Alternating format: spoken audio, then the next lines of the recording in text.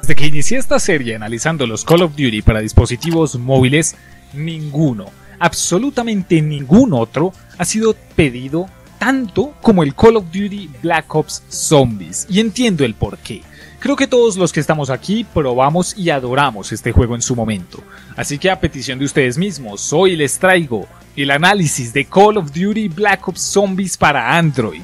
El que sí fue realmente el primer Call of Duty lanzado para dispositivos móviles. Por lo que debemos tener eso en cuenta a la hora de hacer el análisis.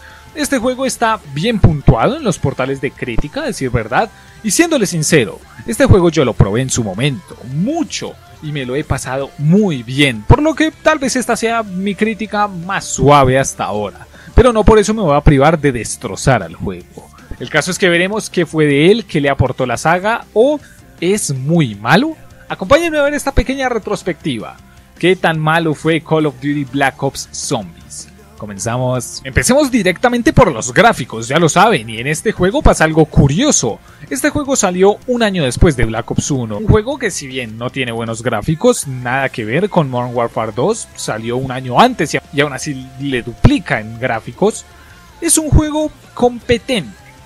Por el contrario, este Black Ops Zombies es terrible, es simplemente horroroso, se ve mal el nivel de detalle es terrible, las texturas se ven feas porque no tienen gracia, son colores opacos y ya, no tienen mucho más. En cuanto a ambientación es sencillamente insultante. Todos los mapas tienen un tono gris, tienen una niebla que no queda bien. Strike Team, que fue el juego que analicé en el episodio anterior, por lo menos le apuntó a tener unos grandes gráficos como los de Black Ops 2. En cambio, este Black Ops Zombies termina imitando a World at War, el juego con peores gráficos de toda la saga. Los peores, de muy lejos.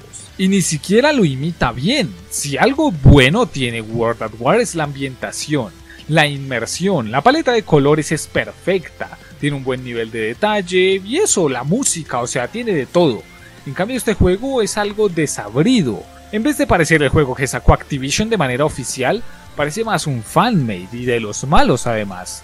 No, y ni les hablo de las animaciones, que también son pésimas. Son super pochas, son simplonas, se ven cutres. Solamente el retroceso o el apuntal a los zombies son animaciones terribles, un nivel de detalle terrible. Cuando las armas se pacapunchean, también se ven mal, o sea, apenas se ven.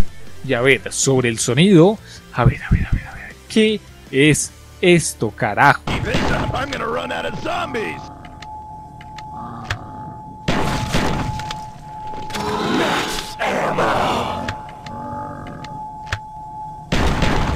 La maldita Olimpia, ¿a qué suena, carajo? Parece arma de San Andrés.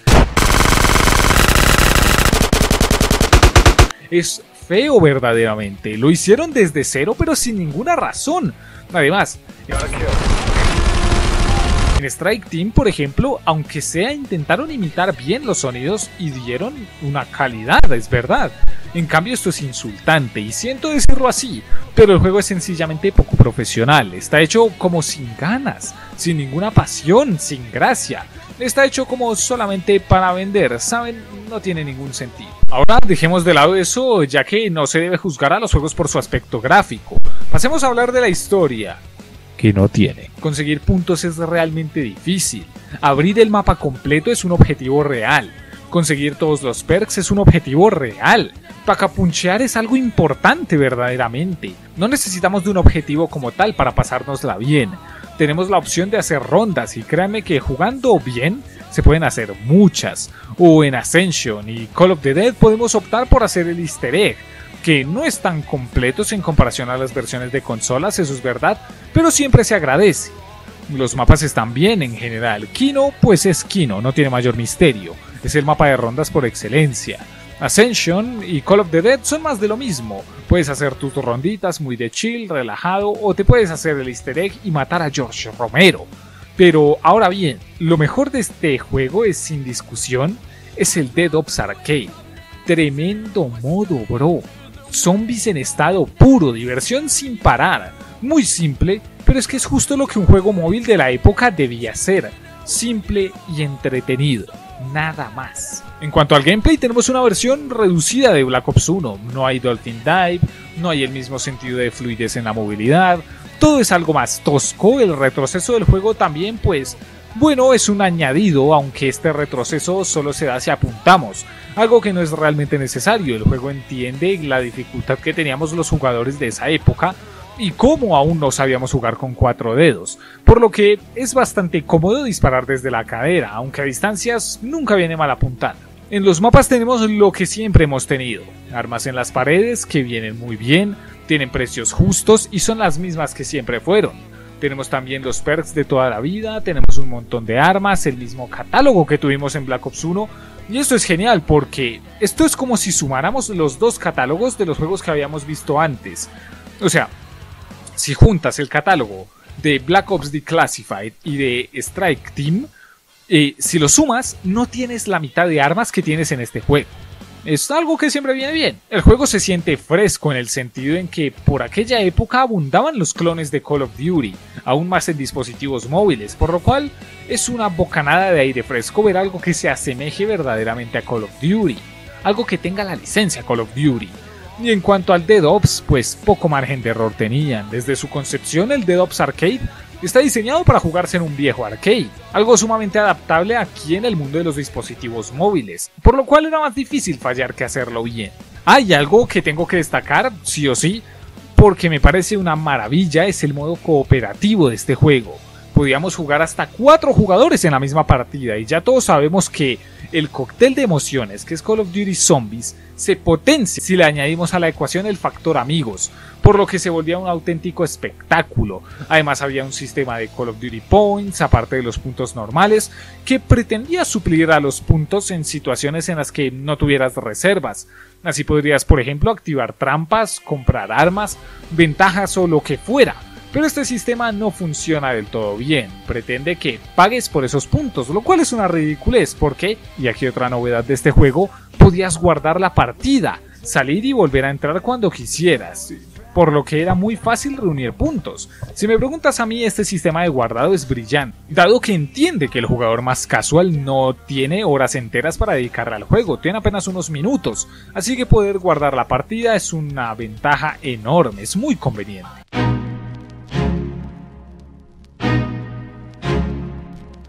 Este juego fue bueno a decir verdad. Sé que me pasé tres pueblos con la crítica hablando de los gráficos y el aspecto del sonido. Los detalles más técnicos del juego son nefastos, pero de resto tiene demasiadas virtudes. No olvidemos que es un juego del 2010, una época en la que casi nadie miraba el mercado de los móviles, y la industria en este medio apenas estaba dando sus primeros pasos, y yo considero a este juego un adelantado a su tiempo demostró que se podía hacer calidad jugable, no técnica, en un juego para móviles, porque recordemos que ya habían hecho The Classified que estaba en una consola portátil, no para móviles.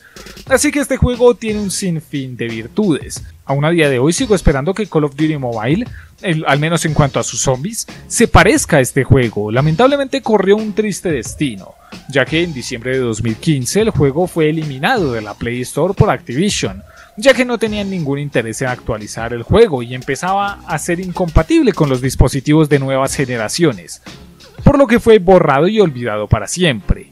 Tengo recuerdos realmente buenos en este juego, me lo he pasado muy bien y ya que todo el mundo me lo pedía, creo que ustedes también tienen buenos momentos y la verdad tenía ganas de repasar este juego. Tal vez fue el primer intento de Call of Duty de condensar los zombies en un solo juego, algo que a mí no me desagrada personalmente, sería algo muy interesante de ver a día de hoy. O sea, ¿se lo imaginan? Todos los mapas de la historia reunidos en un solo juego que tenga, yo que sé, el motor gráfico de Black Ops 3 o algo así, o algo como un editor de mapas o un sitio para publicar tus mapas. Imagínense los buenos gráficos, buenas mecánicas, chicles por aquí, armas especiales por acá, de todo. Eso sería genial. Es verdad que no salió bastante bien, fue apenas una versión prototípica de esto que les estoy proponiendo, pero a diferencia de los demás, no me parece tan insultante y me parece hasta buen juego, la verdad. Y bien, con este juego habríamos terminado los juegos clásicos principales de la saga. Sé que nos quedan todavía los Call of Duty de Nintendo DS y claro, el Call of Duty Mobile, pero ese último me lo reservaré para otro video. Así que quiero ver su apoyo abajo en los likes y en los comentarios para que traiga ese análisis de los Call of Duty de, de Nintendo DS lo más pronto posible. Y bueno, díganme qué opinan de este Black Ops Zombies. ¿Lo probaron? ¿Qué les pareció? Los leo. Y bueno, eso es todo por hoy. Espero que les haya gustado mucho y sin más que decir, nos vemos la próxima. Adiós.